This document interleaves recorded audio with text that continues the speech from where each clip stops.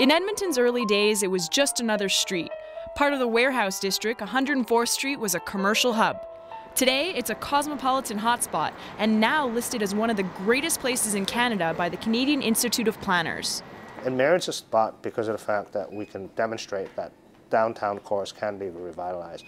And it also merits a spot because, you know, we, we have retained a large component of the heritage buildings.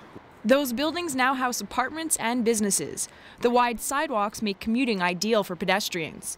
In the shadow of what was the Cecil Hotel, 104th Street is a remarkable story of urban transformation. Well, one of the things uh, that really differentiate our street from many of the streets in the downtown core is that there's a huge uh, number of people living on our street.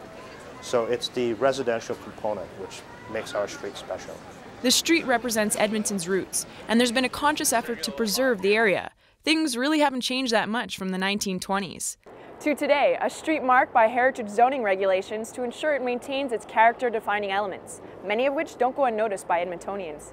It maintains the architecture of the, uh, of the originality of what Edmonton was, and it just has that sort of um, walkability vibe to it. It's the vibe, the feeling, just all the things that, um, all the really unique things that you can buy.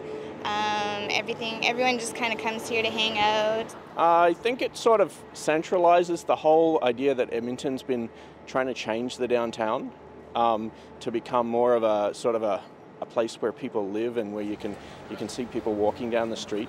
The great places in Canada will be announced in November, but 104th Street is already a clear winner to many Edmontonians. Kristina Partsinevelos, CBC News, Edmonton.